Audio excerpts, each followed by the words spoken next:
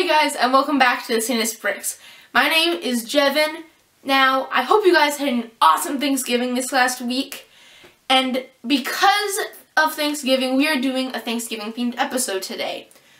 We are doing some Lego food. Now, I do want to say that Thanksgiving is not about food. It's about giving thanks for what you have and being grateful. However, the food, it's a pretty good bonus. So we have an appetizer, a main course, and a dessert for you guys today. So let's get started.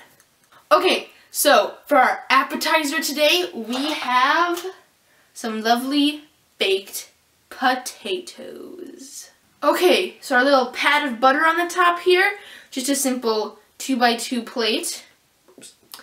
And our potato here is actually just one of like those Lego balls that we've seen before, except one quarter of it has been taken out. So it looks like we just have cut into our little potato. Okay, so now moving on to our main course. We have the Thanksgiving turkey. So this is an extremely basic build. The most complicated part of this is just these little chicken or turkey wings.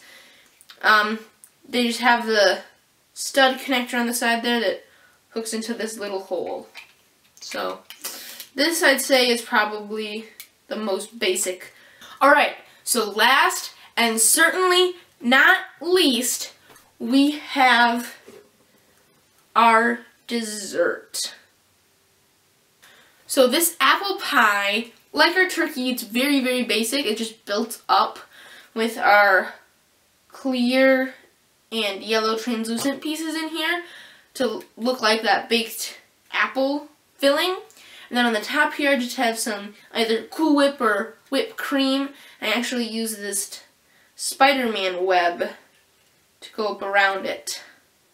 That just gives it a sprayed or squirted look. Alright, so that is our Lego food. Comment down below which one was your favorite. If you guys want to watch more Sannes Bricks, go ahead and click one of these two videos, or click here to subscribe.